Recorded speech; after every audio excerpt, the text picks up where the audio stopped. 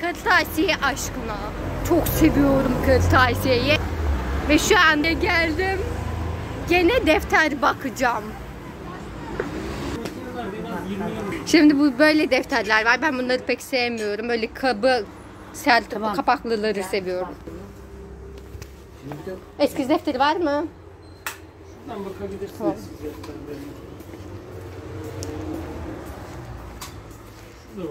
Tamam sağ olun. A5, A4 Peki. boyutunda. Şu kırtasiye malzemelerine hastayım. En çok defteri. Ben de bunun benzerinden var. Daily Journal. Ee, ve şu defter de çok tatlı. Ev, eski defterlerim falan hepsini göstereceğim eve gidince. Atatürklü var mesela. Çok güzel. Oo. Günlük gibi kullanılabilir. Doğru olanı yapmak zorunda değilim. Not lütfen benim için bitmiştir. Wow. Aşırı güzel bir defter. Efsane. Bunu çok beğendim. Bakalım. Şu defter de çok güzel çizgili. Bakalım. Oh my god.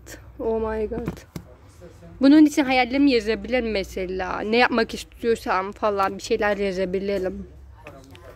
Böyle. Çok güzel ya. Çok seviyorum yani. Şu defterler de çok tatlı. Bakar mısınız? Defter el aşkına aman tanrım. Müzik falan diyor. Aslında ben normal bir tane defter almıştım. Gitar akorlarını yazmak için. Onun yerine bundan saymışım daha iyiymiş. Ama ne bileyim ben başka bir defter almıştım. Müzik falan yazıyor ya. Make own kind of müzik. Make your own kind of müzik falan. Bakalım bu da böyle güzel. Wow, iletişim bilgileri falan yazıyor. Şu da çok tatlı. Bir de burada Türkçe yazması beni benden aldı. Neredeydi o? Genelde hani İngilizce yazıyor ya. Bunda Türkçe yazması beni benden aldı. Yani söyle Sebastian falan. Bunu almayı düşünüyorum. Bakalım. Çok seviyorum defter. Kalem falan onları pek şeyim yok da defteri çok seviyorum. Bir de arkadaşlar şöyle küçük defterler var. Küçük defterlere de zaafım var. Hatta bir tane birkaç tane evde var. Eve gidince göstereceğim. Gördün mü? Ve ha bu ba- çok değişik bardak altlığı gibi gözüküyor. Abimgilden, amcangilden. Bir de bu var. Bu aşırı küçük ama hiç bu kadar küçük defterim yok. Ayşem mi? Su. Göbeğindeyim. Sen neredesin? Bir de bunlar var. Aşırı tatlı ya. Çok seviyorum defteri. Tamam ben sana Mesela oradan şu çok kapıdan tatlı. veririm, olur mu? Bakın. Kapıdan veri vereyim. Hani bu aşağıdan geliyorsun ya. Şu falan aşırı geliyorsun güzel. yukarı doğru. Ama küçük defterim var evde. Ha oradan geldiğinde Bu şekilde gözüküyor. Şuradan 30 saniye dursan şakarak ben senin cam Yeniden merhaba arkadaşlar. Şu an eve geldim ve defterlerimi göstereceğim. Demin o yerden bu defteri aldım. O kırtasiyeden bu defteri aldım. Söyle Sebastian doğru olanı yapmak zorunda değil ama benim için bitmiştir Sebastian falan yazıyor ve içi de bu şekilde kareli bir defter. Bunu aldım çok beğendim. Ve böyle bir 2022 ajandam var arkadaşlar. Benim ilk ajandam. İlk defa ajanda kullanıyorum. Ve her gün yaptığım şeyleri yazıyorum ajandama. Günlük gibi tutuyorum yani. Resimler çiziyorum. O gün ne yaptıysam onun resmini çizdiysem eğer bakarak onu çiziyorum. Mesela bunu böyle yapmışım. Tiyatrodan fotoğraf çekilmişim. Onu koymuşum. Ve böyle bir tane defterim daha var. Bunu çok beğendim. Aşırı güzel bir defter rengi falan. Buna da İngilizce kelimeleri falan yazıyorum. Bayağı bir sığıyor yani. Çok güzel. Daha sonra böyle bir tane noktalı defterim var. Ama keşke almasaydım. Biraz pişman oldum yani. Defteri kağıdı kalın. İstediğimi yazıyorum, çiziyorum falan ama kaygan bir kağıt. Yani kal- kağıdın kalitesi. Kağıdın özelliği bu. Kaygan olması. Yani şöyle göstereyim. Şöyle bir defter yani.